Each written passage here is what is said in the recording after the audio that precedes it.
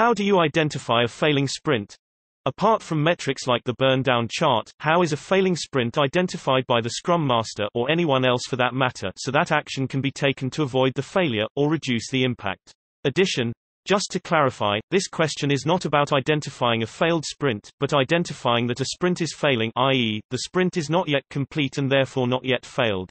I don't really like the term fail to describe a sprint, but the primary objective of a sprint is to deliver the sprint goal by the end of the time box.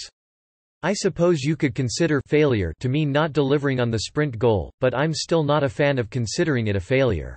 The development team are the best people to identify when the sprint goal is at risk.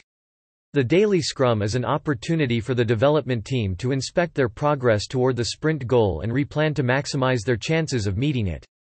If the team has concerns about their ability to meet the sprint goal, they should be raising these to the product owner and scrum master who, in different ways, can help the team to understand and focus on getting the valuable work done and ready for delivery.